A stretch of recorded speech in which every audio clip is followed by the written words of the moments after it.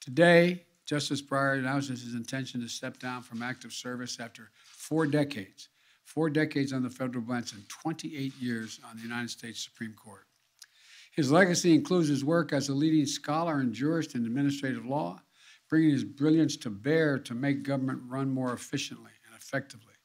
It includes his stature as a beacon of wisdom on our Constitution and what it means. And through it all, Justice Breyer has worked tirelessly to give faith to the notion that the law exists to help the people.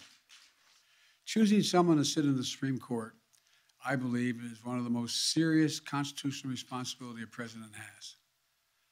Our process is going to be rigorous. I will select a nominee worthy of Justice Breyer's legacy of excellence and decency. While I've been studying candidates' backgrounds and writings, I've made no decision except one. The person I will nominate will be someone with extraordinary qualifications, character, experience, and integrity. And that person will be the first black woman ever nominated to the United States Supreme Court. It's long overdue, in my view.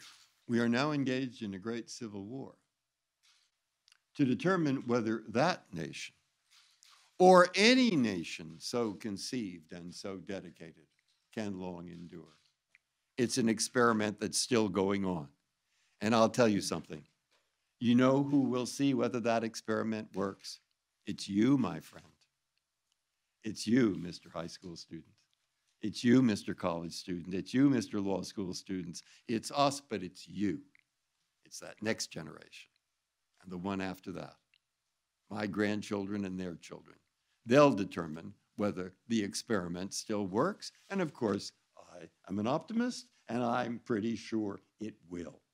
Does it surprise you that that's the thought that comes into my mind today? I don't know. But thank you.